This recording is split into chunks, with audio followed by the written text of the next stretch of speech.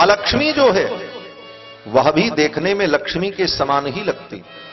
लेकिन अलक्ष्मी और लक्ष्मी में अंतर करना बड़ा कठिन है।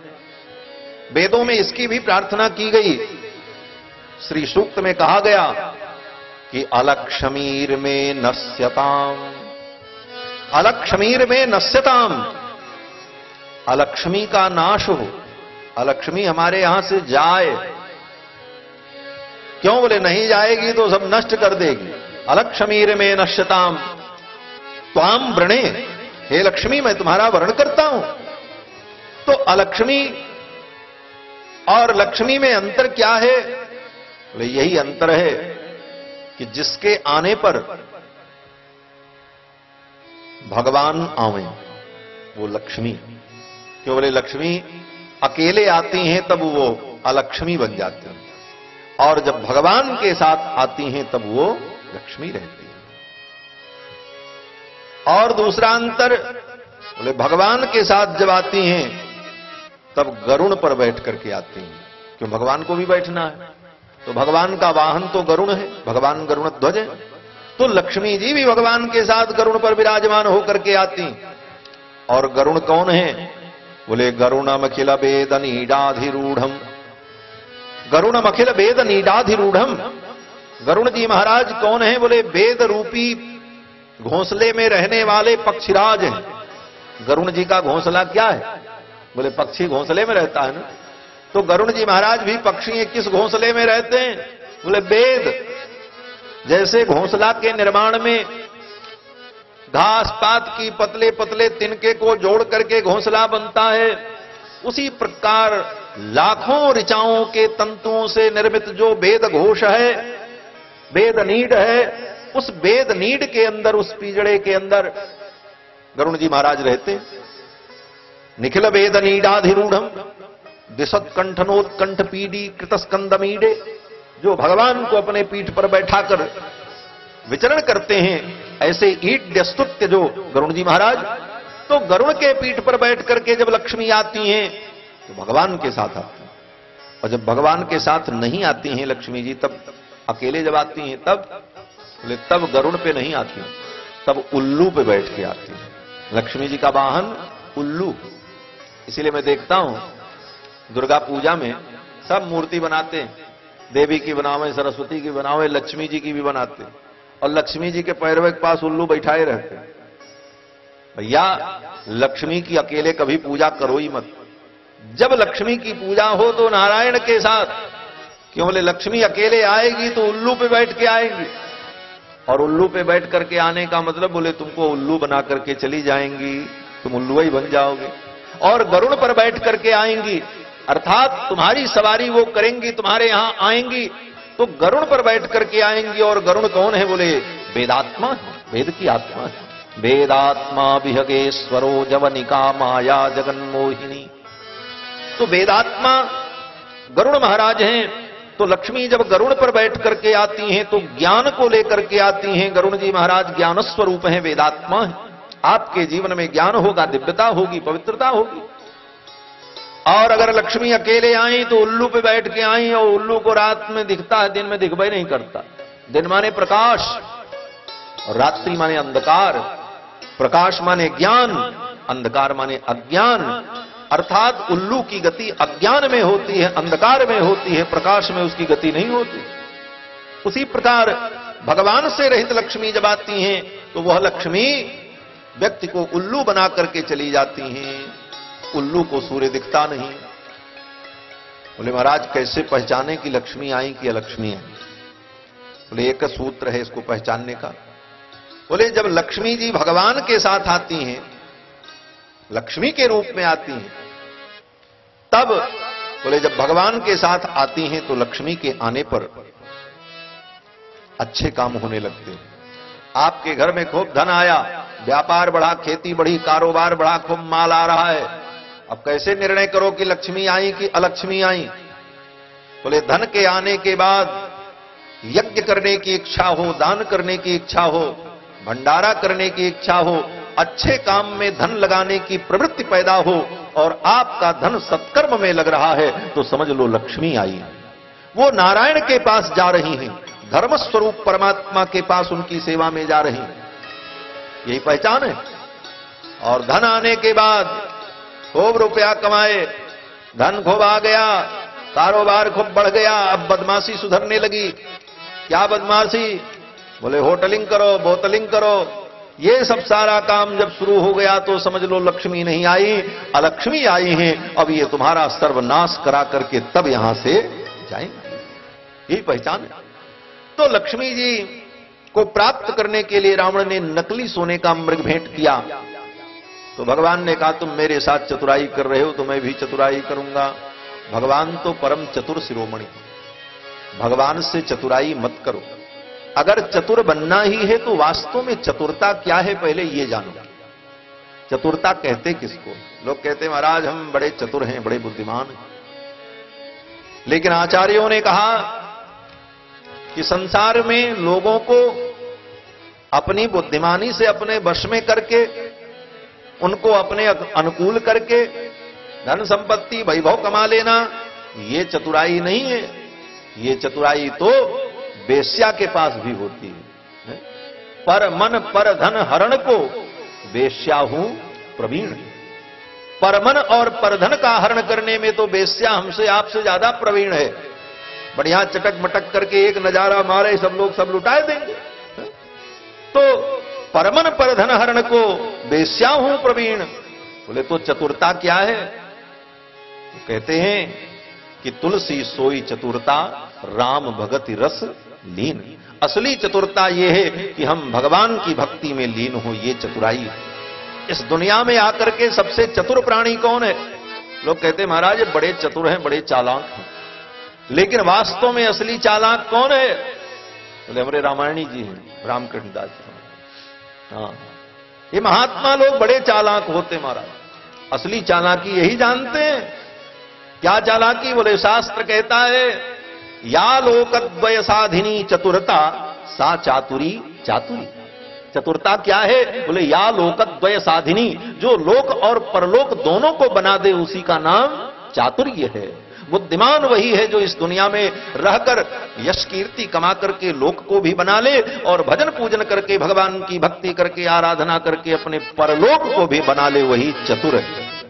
या लोकद्वय साधिनी चतुरता, सा चातुरी चातुरी, वास्तविक चतुरता तो वही। है और इस चतुराई में महात्मा लोग कुशल हैं। यहाँ भी उनका कोई गड़बड़ नहीं होता, किसी से कम वैभव नहीं। मठ, मंदिर, गाड़ी, घोड़ा, आनंद, मंगल, जय, जयकार, लोक में भी चकाचक और परलोक में भी चकाचक। यहाँ वहाँ दोनों जगह बना लेते हैं। और लोग यहाँ बनाते बनाते मर जाते हैं। यहाँ तो बनता नहीं, यहूं बिगड़ जाता, वहाँ जाने के बाद तो बिगड़े ही बिगड़ा। है क्यों? बोले, यो ध्रुवाणी परित्यज्य अध्रुवम परिषेव्यते जो व्यक्ति ध्रुव को छोड़कर अध्रुव की ओर दौड़ता है, निश्चित को छोड़कर अनिश्चित की ओर दौड़ता है, ध्रुवाणी तस्य नश्यंती अध्रुवम नष्ट में वही उसका ध्रुव भी चला जाता है, और अध्रुव तो पहले से ही नष्ट है। उसी प्रकार ध्रुव परमात्मा है। जो पूर्ण तत्व है, निश्चित तत्व है, उस तत्व की ओर न जाकर के अनिश्चित तत्व की ओर जब हम भागते हैं तो अनिश्चित भी हाथ नहीं लगता और जिसको मिलना चाहिए था वो भी नहीं मिलता। तो लोयालोकद्वय साधिनी चतुरता सा चातुरी चातुरी, यही चातुर्य है कि लोक और परलोक दोनों बन जाए। तो रावण ने चतुरता की तो भगवान ने उनसे भी चतुरता कर ली। तो भगवान तो जे जथा माम प्रपद्यंते तास तथैव भजाम्य हम यही बात मैं कह रहा था तो जब कोई भगवान का भजन करता है तो भगवान भी उसका भजन करते हैं। जे जथा माम प्रपद्यंते अगर आप भगवान का भजन करोगे तो भगवान भी आपका भजन करेंगे। और न करें तो कहो कि महाराज, हमने आपका भजन किया, आप हमारा भजन करो। हाँ। आप कह सकते हैं, कहने के लिए आपको मैं प्रमाण देता हूँ। श्रीमद भागवत में चलिए। रास पंचाध्याय में जब भगवान ने रास लीला के समय बंशी बजा करके गोपियों का आवाहन किया, निशम्य गीतम तदरंग वर्धनम ब्रजस्त्रिय कृष्ण ग्रहित मानसाह आजगमुरन्योन्यमलक्षितोद्यमा सयत्र कांतो जबलोल कुंडला गोपियाँ आ गई। वंशी की ध्वनि सुनकर के कथा आपने सुनी है, कई बार मैंने सुनाया है, पंद्रह साल से तो यही सुनाई रहे हैं सब। तो कितने ऐसे श्रोता बोलते, महाराज, सब तो सुना ही चुके हैं। तो कई बार सुने भी हैं कि गोपियाँ जब चली तो अपने घर के सारे कार्य को छोड़ दिया। कोई भोजन बना रही थी, कोई पति को भोजन करा रही थी, कोई बच्चे को दूध पिला रही थी, कोई घर में गोबर लीप रही थी, वो सब छोड़ करके चल पड़ी। जो जैसे थी उसी प्रकार चल पड़ी। बड़ी लंबी बात है। लेकिन जब भगवान के पास पहुँची तो भगवान ने उनको कहा, तुम लौट जाओ। अपने अपने घर चली जाओ। पहले तो बड़ा स्वागत किया। स्वागतम वो महाभागा प्रियम किम करवाणी वह लेकिन बाद में भगवान ने कहा, नहीं नहीं, चली जाओ। तो गोपियाँ बड़ी दुखी हो गईं और गोपियों ने भगवान से कहा कि आप बड़े निष्ठुर हो, श्याम सुंदर। ऐसे ही कह रहे हो, चले जाओ। सोचा भी नहीं एक बार।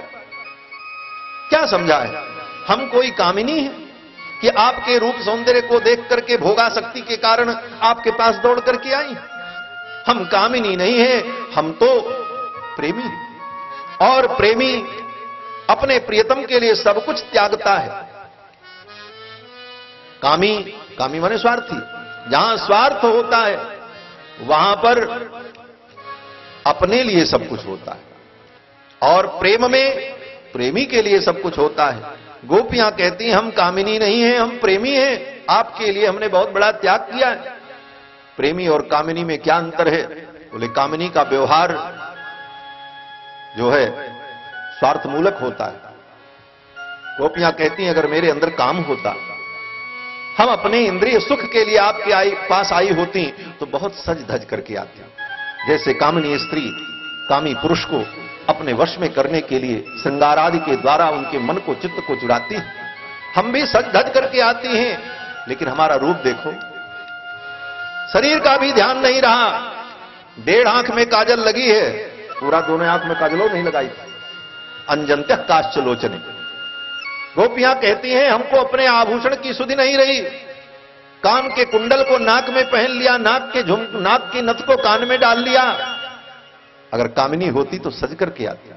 व्यत्यस्त्र वस्त्राभरणा काश्चित कृष्णांतिकम ययु। कपड़े देखो, साड़ी का ऊपर का हिस्सा, नीचे नीचे का हिस्सा ऊपर। जिस चोली को बांधते समय उसके बंधन आगे बांधे जाते हैं, उसको पीछे बाँध दिया। व्यत्यस्त्र वस्त्राभरणा काश्चित कृष्णांतिकम ययु। गोपियाँ इस रूप में आई। गोपियाँ कहती हैं, हमारे अंदर काम नहीं है, श्याम सुंदर। हम तो आपसे प्रेम करती हमने आपके लिए सब कुछ त्यागा है। देखो, डेढ़ आँख में काजल लगाया इतना बचा, अभी हाथ ही लगा, देख लो। कहो तो तुम्हारे मुँह में पोत दे। कृष्ण सुन रहे थे। एक गोपी ने कहा, मैं घर लीप रही थी, आपकी बंसी की ध्वनि सुनाई पड़ी। कार्य छोड़ करके दौड़ पड़ी, हाथ भी नहीं धोया। वो गोबर का हाथ आगे दिखा दिया। कहो तो तुम्हारे मुँह में पोत दे। कृष्ण भगवान ने कहा, नहीं नहीं, हमारे मुँह में मत पोतो।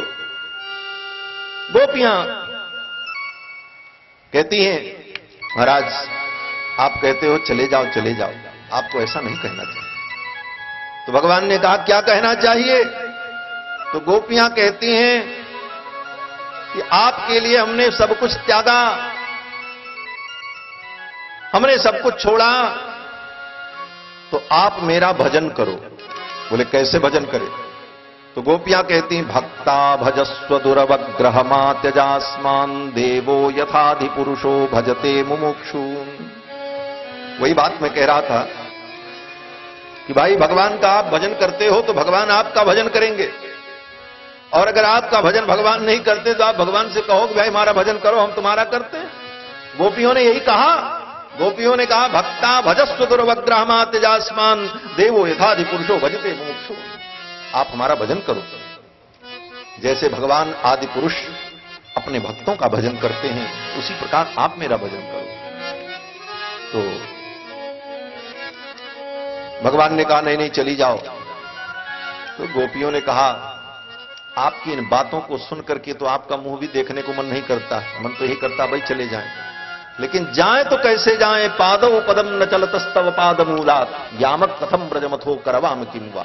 अब तो मेरे पैर चल करके उस दिशा में जाने को तैयार है। तो कहने का तात्पर्य कि भगवान का जब भजन भक्त करता है तो भगवान भक्त का भजन करता है। जे जथा माम प्रपद्यंते तास तथैव भजाम भक्त भगवान की कथा सुनते हैं तो भगवान भक्त की कथा सुनते हैं। यही बात मैंने कही थी। भरत जी महाराज भगवान के भक्त हैं। भरत जी भगवान की कथा सुनते हैं, भगवत चरित्र सुनते हैं। हनुमान जी महाराज ने दोनों के दुख को दूर किया, श्री जानकी जी के दुख को और भरत जी के दुख को। दोनों के पास भगवान ने हनुमान को ही दूत बना करके भेजा। तो हनुमान जी ने कौन सी घुट्टी पिलाई जानकी जी को? कौन सी घुट्टी पिलाई भरत जी को जो उनके दुख को दूर किया? बोले, भगवान की कथा सुना करके ही दुख को दूर किया। रामचंद्र गुण बर नहीं लादा, सुनते ही सीता कर दुख। खाता भगवान के चरित्र को सुना करके हनुमान जी ने जानकी जी के क्लेश को दूर किया और भरत जी के दुख को दूर किया। तो भक्त भगवान के चरित्र को सुनते हैं। तो भगवान भक्त के चरित्र को सुनते